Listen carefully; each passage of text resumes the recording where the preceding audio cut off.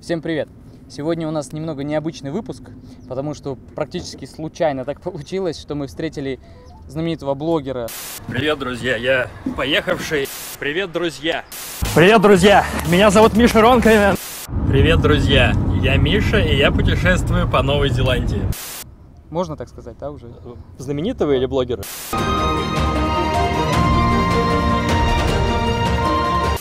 И то, и другое. Блогера можешь точно. Да, хорошо. В общем, блогера из России, э, Михаила. Э, бл- блог у него называется «Поехавший». И это правда. Тут он никому не, совсем не лукавит. Вот, мы встретили его э, в Окленде, сейчас мы встретились опять в Ротаруа и решили немножко пообщаться с ним. Чем же живут travel-блогеры, зачем они живут, э, как они зарабатывают и насколько это интересно. Для чего ты приехал в Новую Зеландию? Слушай, я... у меня такая ситуация, я коллекционер. Я коллекционирую страны. Кто-то коллекционирует монеты, кто-то коллекционирует женщин. А, Я вот коллекционирую страны, и я вот ставлю галочки. Не галочки, точнее, у меня карта есть, и я в карту втыкаю булавочки. Мгм. Вот прям по старинке. И сейчас у меня 95 стран, и я хочу до своего 30-летия, которое случится через 10 месяцев, а, добить а, 100 стран. Вот просто мечта такая. До 30 лет посетить 100 стран. И вот э, Новая Зеландия 95-я, еще сейчас я полечу после нее в две страны, э, э, о которых никто не знает вообще, кого я спрашивал. Знаешь ли ты Ниуэ и острова Кука? Знаешь такие страны? Ну да, я знаю, потому что они тут относительно Да. недалеко. У меня от будет нас. 97, и на обратном пути, пока я буду лететь в Россию, захвачу еще три, и надеюсь вернуться уже со 100 странами. Вот за этим я приехал в Новую Зеландию. Это очень круто, реально. Блин, 100 стран, я не знаю, у меня двадцатка, может, наберется в лучшем случае, и то, наверное, чуть меньше, не знаю, не считал.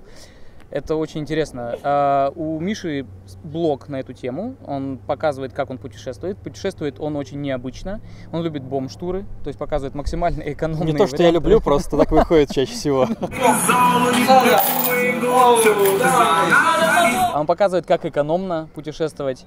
Не всегда это получается очень законно. Миша любит идти против системы. В общем, рекомендую э, по ссылке в описании проходить на Мишин блог, посмотрите, есть куча крутых выпусков. Из Новой Зеландии тоже. Да, собственно, где ты был уже в Новой Зеландии, о чем твои выпуски новозеландские? Ой, я был в Хоббитоне, а, я был а, в Квинстауне. Я ехал, я, в общем, взял машину по релокейшену. Здесь бесплатная такая штука. Первый раз слышу об этом вообще, что это возможно. Взять машину в одном месте, которую до этого кто-то арендовал и оставил не на базе. Взять ее и переместить обратно на базу. И ты за это ничего не платишь, только за бензин. Вот я взял машину и через всю страну на ней поехал. Ну, вышло не так бюджетно, как я планировал, потому что бензин здесь стоит два с половиной раза дороже, чем в России. И, но я проехал всю страну, об этом будет два ролика. Еще один ролик будет про мост, э, а потом я машину бросил, Мгм. потому что, ну, я отдал ее, типа, и перестал, э, пересел вообще на автостоп, потому что начал компенсировать деньги, даже на автобус решил не тратиться. Поехал автостопом на мост, на Шкиперский мост, который был в рейтингах самых опасных мостов мира. Я вбил просто вот что-то мосты, мосты мира, по-моему, или опасные, опасные места мира. И там мосты вылезли, и почему-то Шкиперский мост был на одном из первых мест в этом рейтинге. Я не знаю, кто его составляет, но выглядит действительно опасно. Я туда доехал, об этом будет еще ролик. Еще будет ролик про антипода Москвы, город антипод Москвы, который находится на самом удаленном расстоянии от нашей столицы российской. э, 16 660 километров. Оттуда будет ролик. Я там нашел голубую четверку. Я катался по самому удаленному городу На России, да, на Жигулях, на голубой четверке. Это феерическое что-то было. Еще ролик с заброшенной железной дороги. Да, есть, э, ну, много заброшенных железных дорог в Новой Зеландии. На одну из них я э, приехал и прокатился там на дрезине. Причем, ну, нелегально прокатился, потому что то там уже не катаются на дрезинах. Почему э, именно вот такие непонятные места, ну я имею в виду не попсовые места, почему э, бомж-туры, почему там бесплатно или там против системы, что тебя сподвигло вообще на это? Бомж-туры, потому что у меня денег нету. Тут, все просто. Если- Логично все. Если бы у меня были деньги, то я бы, наверное, не в бомж-турах был. А, места не попсовые. Я на самом деле не знаю, какие места попсовые, какие нет, потому что я чаще всего ничего не узнаю о странах, прежде чем в них приехать. То есть я приезжаю в них и уже начинаю смотреть, ага, ага, вот посетить это, посетить это. И я даже не знаю, какие из них попсовые, какие нет. Вот ты мне много мест показал. Собственно, я, по-моему, по твоей карте ездил, то что мы с Денисом когда встретились первый раз в Окленде, он мне там точки расставил, и я начал смотреть, какие будут мне по маршруту, и по ним поехал. Их отснял. Вот. А, главное, что я хочу в своих роликах рассказать, это то, как здесь живут, а, в принципе, люди, бытовые какие-то их условия. То есть я снимаю обычных людей, в том числе, которые встречаются на моем пути. Я с ними разговариваю, несмотря на то, что мой английский гораздо лучше, чем а, русский некоторых новозеландцев, которые никогда его не учили. Но, тем не менее, разговариваю, получаю какую-то обратную связь, фидбэк. И вот ради этого все. А вот все эти мосты, все эти города на другой стороне Земли, это а, лишь какая-то, какой-то сюжет. Отправная точка. Отправная, ну, для да, сюжета. Просто, чтобы была какая-то цель, и к ней я мог идти, и по пути вот я нанизываю на то, что получается, бусинки.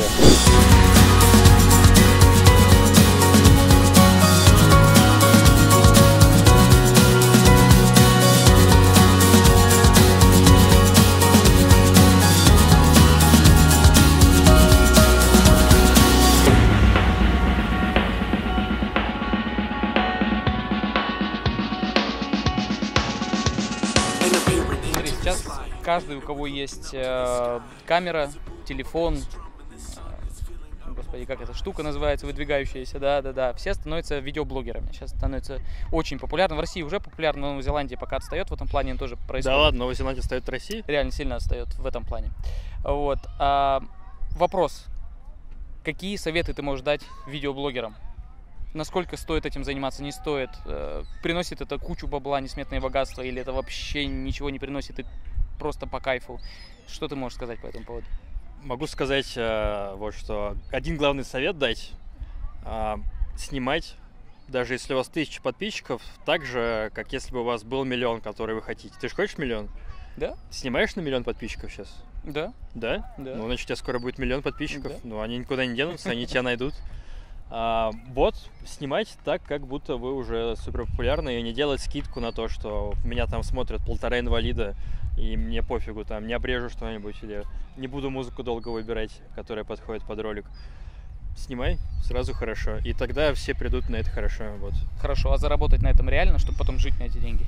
Ну, если у тебя больше, чем 200 тысяч подписчиков, то ты, в принципе, в России можешь нормально жить уже с этими деньгами. А до этого, ну, будь готов уходить в минусы даже. У тебя есть кредитка? Угу. Есть? К сожалению. Ну, если есть кредитка, то, то, возможно, ты дотянешь до двух сотен тысяч подписчиков, тогда все будет хорошо с тобой. Ну и совет еще важный, что если вы просто делаете хороший контент, но нигде его не промоутите, не делаете коллаборации с другими блогерами, вот как мы сейчас с Денисом, то о вас будут узнавать гораздо дольше. А очень долго. Нужно везде пихать себя прям где сможете. Если живете вы, не знаю, где-нибудь в Саратове, найдите блогеров в Саратове, сделайте вместе с ними какие-то коллаборации. Короче, суммируем. Э, качество, качество, качество. Качество и в маркетинге, и в контенте. В контенте в первую очередь, да, то есть, чтобы дать что-то полезное людям, что-то интересное, тогда тебя будут смотреть, тогда у тебя будет востребованность, и тогда ты сможешь на этом как-то зарабатывать, там, нативной рекламой, там, не знаю, интеграциями, там, все что угодно. Правильно? Да. И сколько времени ты таким образом проводишь в путешествиях обычно? В году, я имею в виду. За лето прошлое в Москве я был 5 а, дней. За эту зиму я был что-то две недели в Москве. Ну, в среднем я где-то три недели в месяц я путешествую. Я так посчитал за последний год статистику. А, но это не только заграничные страны, я много по России путешествую. Я был там от Калининграда до э, Кунашира и от Мурманска до Дербента везде. Э, я люблю Россию, в России путешествовать. Да, вот, я видел много да, И ты не можешь это делать. Да. Ха-ха. Потому что ты в Новой Зеландии. Могу, но дорого и долго. Да. Надо прилететь сначала. Да. Да. Ты вот на своих этих микроостровках сидишь и, и вот. И страдаешь. И страдаешь здесь, да. Тут страна-то это плевок, ну, на самом деле не такой же маленький плевок, но как бы здесь можно за полгода все объехать вообще, мне кажется, да? Ну да, если задаться целью, наверное, можно. Ну, да, смотря как, качественно ты хочешь время проводить, ну да, возможно. Ну вот смотри, вот ты много путешествовал, где была самая прям жесть вообще? Вот я просто видел такая, э, это, такое отступление небольшое. Я видел выпуски в Афганистане, Сомали, э, где-то еще в каких-то ну, таких жестких ДНР. точках. ДНР, да. Где был самая вот такая, самая жесть, самая опасная, не знаю, может быть? Или самое то, что тебя впечатлило в, в шокирующем смысле Мгм. слова. Вот названия, которые ты перечислил, они действительно на слуху, они опасные. Афганистан и Сомали. Я тоже, тоже так думал раньше, до того, как туда приехал. Но, как выяснилось, все не так страшно, как э, малюют это, потому что везде живут обычные люди, и они везде живут обычной жизнью, и везде все хотят мира на самом деле. И в Афганистане, и в ДНР, и в Сомали а, можно даже снимать, в принципе, если аккуратно. Я встречался там с представителями Талибана, террористической организации в Афганистане. Если вести себя с ними нормально, то никто тебя не украдет, никто тебя не тронет. Кстати, ребят, а, отступление тоже небольшое. Российский паспорт это просто замечательно, потому что к, к- к русским, к россиянам все относятся хорошо, и можно посещать все страны в мире, если у вас есть виза, конечно. А Если у вас американский паспорт, вы никогда не приедете, допустим, в Афганистан, потому что вам не дадут визу. Американцы специально попросили афганцев не давать визу своим гражданам, потому что их там воруют. Если у вас израильский паспорт, вы никогда не приедете в арабские страны. И только с российским паспортом, может быть, новозеландский, не знаю. Новозеландский. А никто не поймет, что это такое. Что? Нью-Зеланд? Нью? Where is Old Zealand? Самые негативные впечатления. Индия мне очень сильно не понравилась. Как будто попал в антиутопию какую-то, если Мгм. честно. Вот это Индия, где а, люди живут в абсолютном неконтролируемом, ну, мною неосознанном хаосе. То есть наверняка у них там есть какой-то порядок собственный, но я не въехал в него. Мгм. Мы проехали Индию по нетуристическим местам, и мне не понравилась Индия очень сильно, прям плохо. Хорошо. Не, не хорошо, плохо. Да, плохо. Плохо. А теперь про хорошо, противоположное, где прям понравилось, вот прям, вот прям душа лежала. Кроме России, я знаю, в России очень Ну хорошо. что я, ты? я понимаю. Россия, Не, не, Россия. не, в России на самом деле много мест шикарных, и я это понимаю. Просто тут хочется понять, какие еще страны, потому что нас смотрят в основном из России, они знают, ну я надеюсь, что вы все-таки много путешествуете по России и смотрите, как все устроено. И поэтому мы хотим рассказать еще каких-то странах, которых ты рекомендуешь, может быть, посмотреть. Я рекомендую посмотреть все страны мира, Это потому что хоро- это спасибо. расширяет кругозор. А, Но вот из тех стран, в которых бы я согласился пожить сам какое-то время, а, это Япония, потому что это другая реальность абсолютно, и она неплохая, как Индия, она просто другая. Вот, Мгм. не знаю, марсиане прилетели, а, а, значит, э, потеряли, потерпели крушение, приземлились на эти японские острова и там выжили. Получилась Япония. Там совсем по-другому. И э, Балканы. Балканские страны мне очень нравятся. Македония, э, Сербия. э, Македония и Сербия больше всего мне нравятся. Там душевно. Вот как-то по-русски, но и не по-русски. Мгм. Такой небольшой диссонанс, но он скорее приятный, чем нет. Интересно. Я как-то был в Белграде, но буквально там одну ночь проездом надо будет посетить на более долгий срок. Да, Белграде хорошо. Да. Ну как тебе Новая Зеландия в сравнении с 94 уже другими странами? Э, Какие плюсы и минусы? Вот что отличает реально, как есть? Ну вот Ты- э, первое Ты впечатление. Две недели. Я, знаю, здесь э, 15 дней, да. две- Да, вот 16. э, первое впечатление за две недели. Здесь слишком спокойно. Прям чересчур спокойно. И э, даже дело не в том, что тут ничего не происходит.